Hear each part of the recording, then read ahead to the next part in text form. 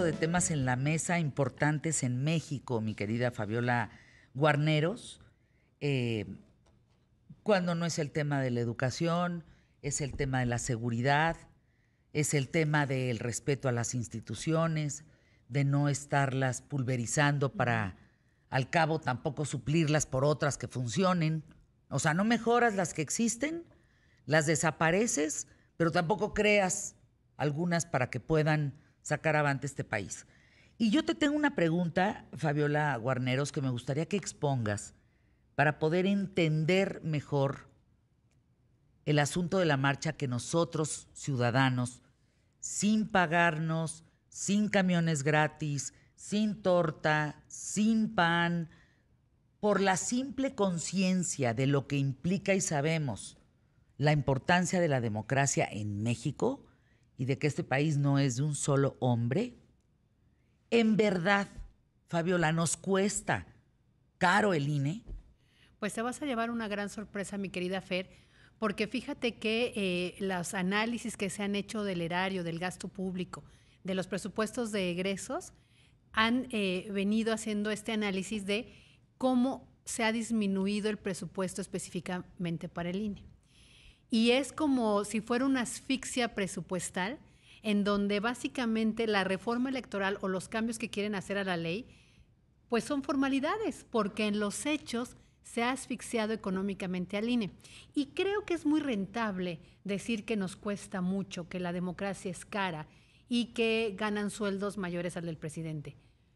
Pero siempre se queda en esa superficialidad del análisis. No se va al fondo del asunto. Por ejemplo, resulta que em, el INE tiene, pidió un presupuesto de 24.6 mil millones de pesos. 24 mil millones de pesos. Oyéndolo así dices, es demasiado, ¿no? ¿Para qué quieren tanto dinero? Pero si de repente te dicen que hay que quitarle 6.2, o sea, 6 mil millones de pesos para los partidos políticos. Entonces ahí vamos en 18. Ahí vamos, en 18. Ahí vamos en 18 mil millones. Y ojo, los que cuestan caros son los partidos políticos. Son las prerrogativas que se le dan para que hagan las campañas, para que hagan sus eh, padrones, para que hagan sus, todos sus procesos internos, incluso para el pago de sus dirigentes partidistas. Y al hablar de partidos políticos, estamos hablando de em, Morena, PRD, PT, Partido Verde, PRI, Acción Nacional, todos, querida Fer, incluidos Morena. Y hay que decirle al público que son los legisladores, son estos representantes de estos partidos los, que hacen la ley, los que mueven el dinero y los que hacen el presupuesto. En días pasados había una propuesta en el Senado de la República para que estas multas de los partidos que se hace el INE, dice, bueno, hiciste campaña anticipada, no eh, comprobaste eh, a dónde fueron tus recursos públicos, eh, no diste facturas, por tanto, tienes una multa de tantos millones de pesos.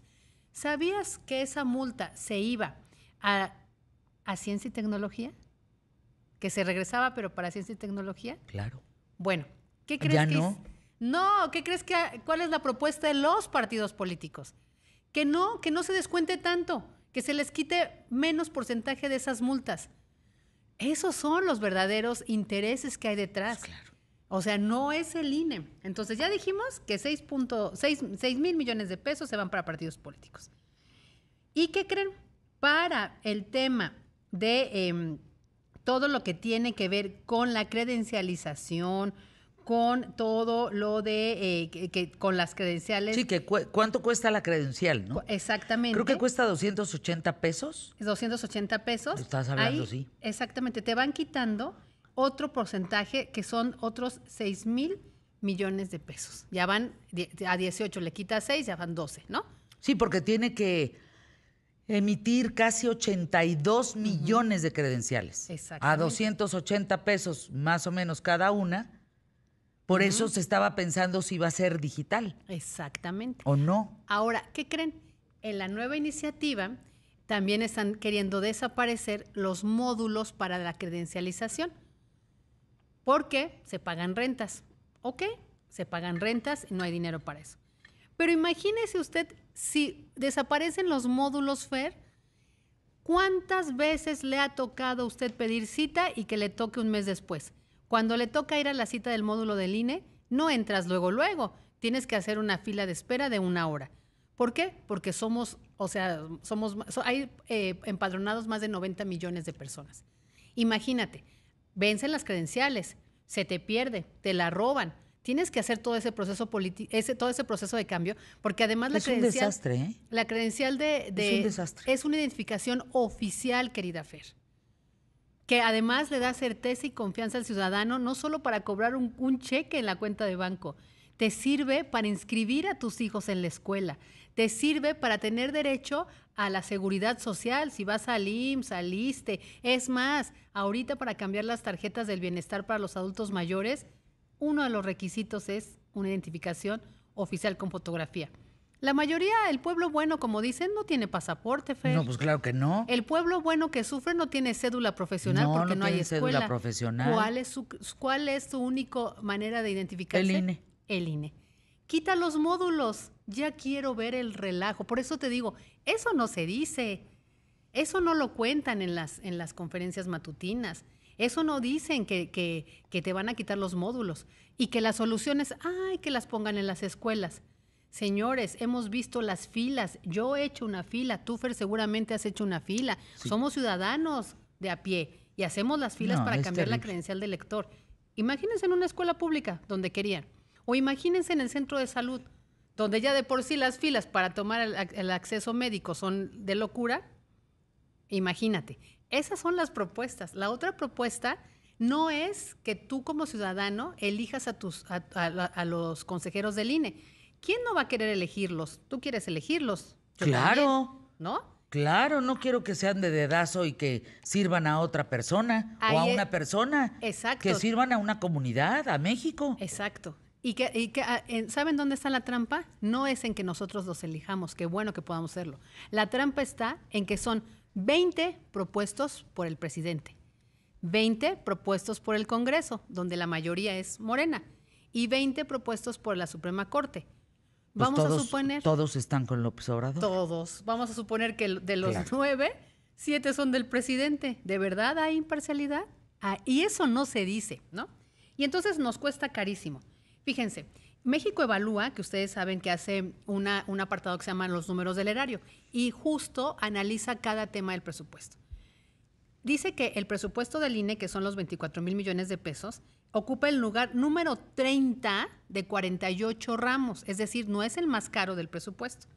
Si le quitamos lo que se da a los partidos, ocuparía el número 30.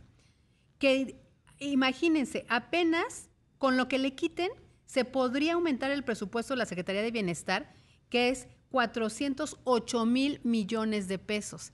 Y ahorita justo ese presupuesto es para los programas que son de pensiones, que son de estas dádivas, y que ese sí es un dineral, 408 mil millones de pesos.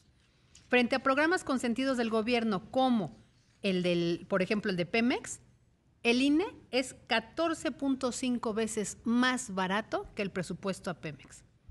El de, el, de, el de las gasolinas, todos estos estímulos que, pues, a la mera hora la gasolina sigue cara, es el presupuesto del INE es 17 más veces más barato que lo que se destina a subsidios de gasolina. La evolución del gasto del INE, pues, ¿qué creen? Que desde hace miles y miles de años le van quitando dinero.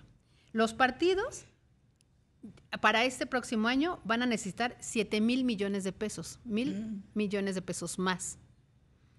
Para el padrón electoral, 4 mil millones de pesos. Eso es lo que significa.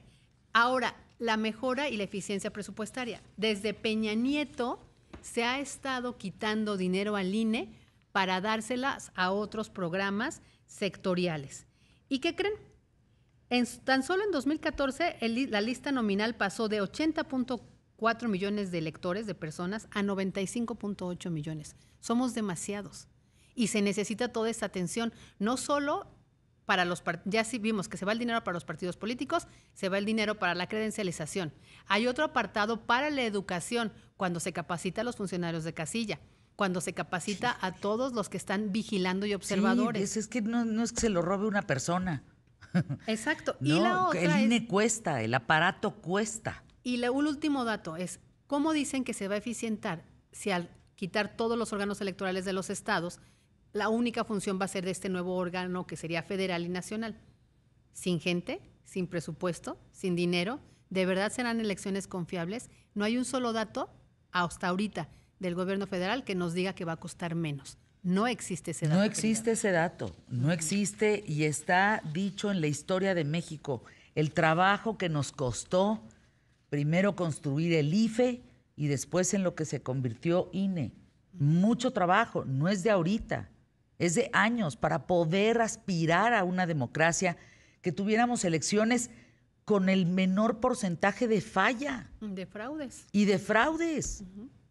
Y ahora otra vez vamos para atrás como en la época de Echeverría. Como la época donde el Consejo Electoral que decidía, donde estuvo Bartlett. Bartlett sabe bien de la trampa. Por supuesto. Gracias, mi querida Fabiola Guarneros. Hay que hablar un día de identificaciones en México. Porque mira, si no tienes pasaporte, pues ya valiste gorro. Si el INE se te perdió, pues también ya valiste gorro. Pero entonces, si tienes pasaporte, entonces aguas con llevarlo a todos lados porque también lo puedes perder. Y en todos los casos, sacar ese documento nuevamente es una monserga. Sí. Los sistemas en México para recuperar tus la documentación perdida es un suplicio. No funcionan. Gracias, Fabi. Gracias por estar con nosotros.